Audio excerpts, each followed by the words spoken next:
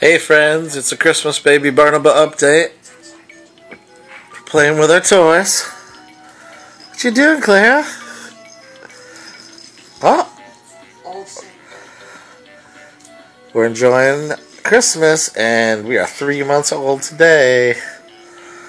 Say bye. See ya.